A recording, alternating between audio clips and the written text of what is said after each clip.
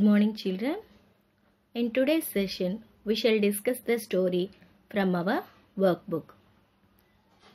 Lesson 3 Why the weather changes. You know, weather means different types of seasons like summer, winter, rainy, and autumn. So,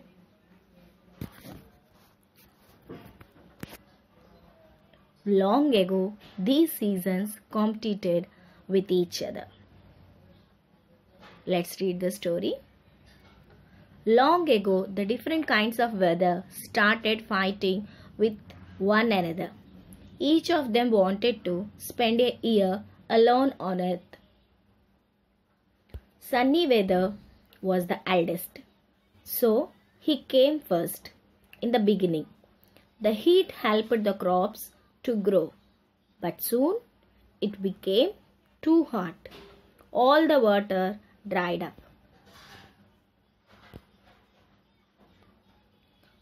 When rain started pouring down, everyone was very happy. But soon the lakes, ponds, rivers, and oceans started overflowing. The crops got spoiled in the rain, and there was nothing for anyone to eat. When snow came and stayed for a whole year, people started falling sick from the cold, and plants started dying because they did not get the sunshine they needed.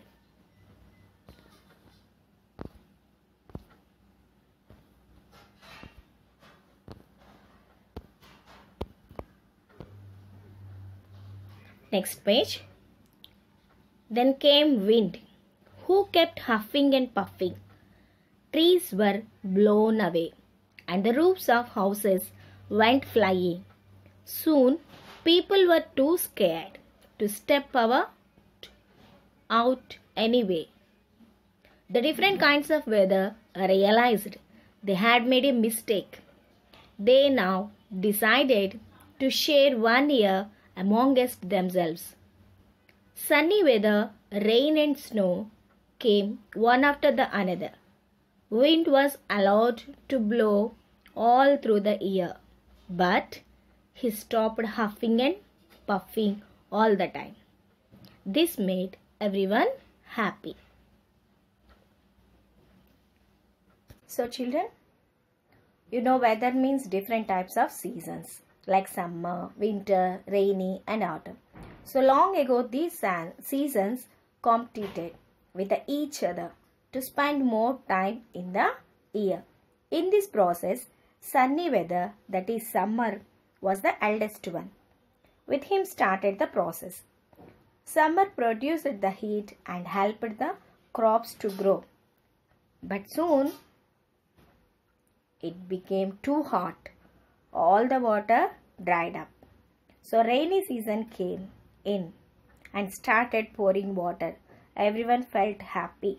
But soon the lakes and ponds, the lakes, ponds and rivers started overflowing so that snowy season entered the earth. When snowy came and stayed for the whole year, people started falling, falling sick from cold and fever. Then, then came wind. Trees were blown away and the roofs of houses went flying. The season realized that they had made a mistake. So, from the on on all the four seasons shared the year amongst themselves. This made everyone happy. Okay, children. Now moving on to grammar part. See these questions are given from the story and choose the correct answer. First one. All the seasons wanted to stay on the earth for how many years? One year, two years, three years or four years? One year is the right answer. Second one. When sunny weather stayed for a year. stayed for a year, then what happened? All the water dried up. Yes. Next, moving on to next page.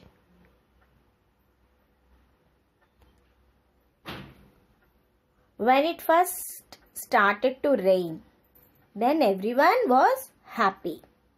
Fourth one, when snow stayed for a year, what happened? People fell sick. Fifth one, wind was allowed to blow. Then all through the year.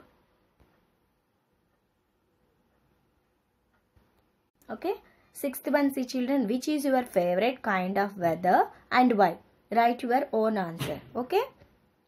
Next, match the words in A to the correct meanings in B. First one, overflowing. That means to flow over the sides. Huffing and puffing. That means breathing noisily. Allowed. That means to be given permission to do something. Okay. Moving on to next page.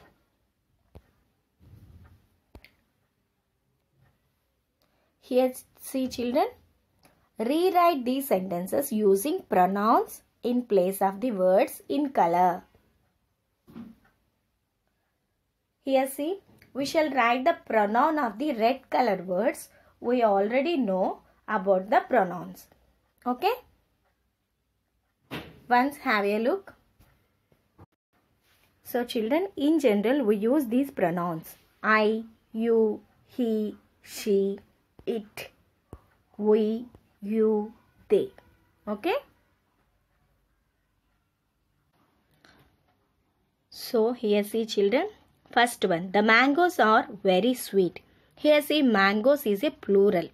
Now, we should use they as pronoun. Okay? They are very sweet. Second one, Sheila and Jane are going to school. Here, we are talking about the two members, Sheila and Jane. That's why we should use they as pronoun. They are going to school. Third one, the film is very funny.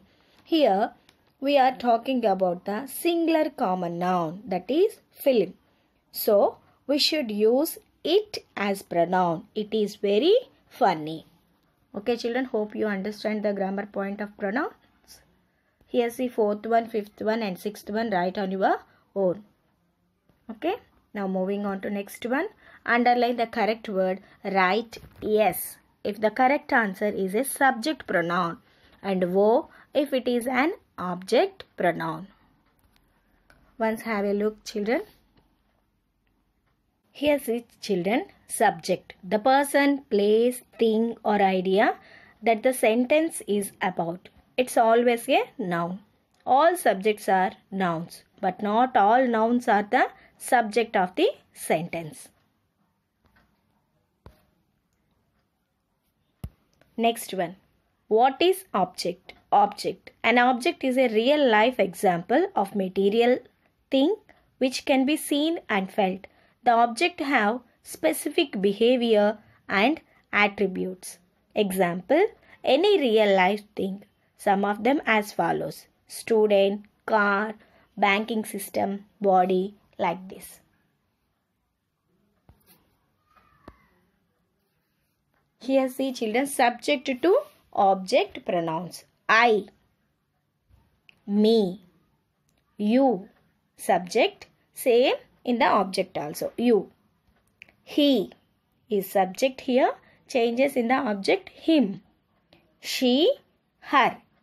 It, same. It only. They, them. Okay.